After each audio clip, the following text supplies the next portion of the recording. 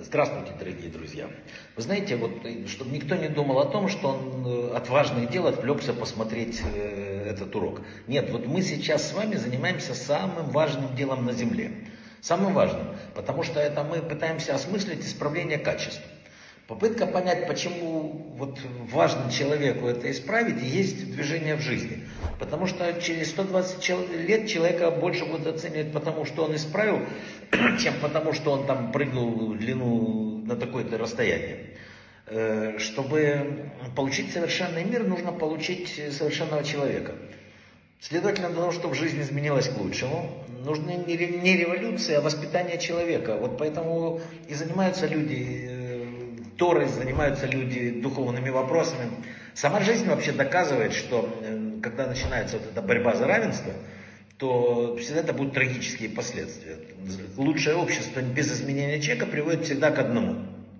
Вообще революции происходят не в силу того, что человек там поменялся э, и рассказывает о том, как он хочет э, дать свободу другим, а благодаря обычным спекуляциям. Массы всегда поднимаются на борьбу против власти – чтобы наивно полагая, что вот сейчас они избавятся от гнета власть имущих, а э, революции всегда что? Разрушают старые устои, но жизнь еще не приблизили человека к совершенству.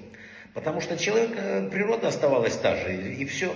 Все известные революции, которые мы знаем, что они добились чего. Это независимо от того, какие бы идеалы не выдвигались, дальше просто смена власти, насилие, угнетение.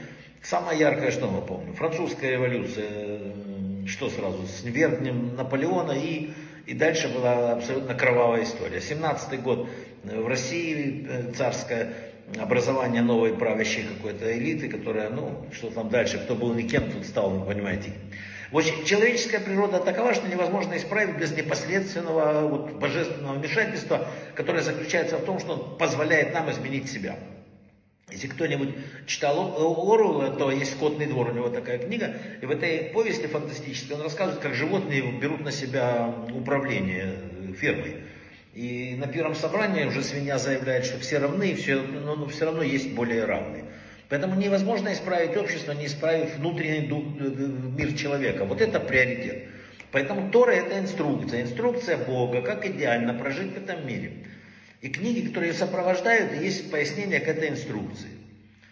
А каков процент на земле искренне верящих в эту книгу? А какой процент верующих в то, что Слово Бога превыше там всего? Или э, кто вообще верит, что это инструкция, которая с утра читается и исследует? Мало людей таких, к сожалению. Поэтому и надо двигаться. Каждый, вот смотрите, принимает выписанное ему лекарство, не проверяет, не исследует, полагается на врача. А врач кто? Он такой же смертный, как и человек, которому он это выписывает. А как же теперь, скажите мне, смертный отказывается принять целебное средство жизни от Бога, который говорит, выбери жизнь, вот, вот, и он говорит.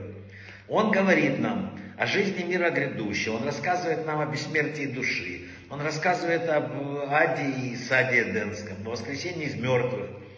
Все это в книгах. В книгах кого? Того, кто создал этот мир. Если мы не верим в это искренне, то во что мы верим? Во что верить? Во что? В человека, в очередную революцию. Поэтому э, мы должны увидеть, написали мудрецы самое главное. Мы должны увидеть, что любая истина, оторвана от, от Бога, она превращается ну, в одно и то же. Обратите внимание, наша глава, э, мы заканчиваем книгу Вайкра. Третья книга э, практически уже подходит к концу. И по большому счету это уже заканчивается дарование Торы и заключение союза с Всевышним на горе. Но при заключении каждого союза есть условия договора. Есть ответственность сторон при исполнении и нарушении. И там есть такие благословения, да, их там достаточно много. И дальше противоположное благословение, огромное количество. Надо тоже это читать.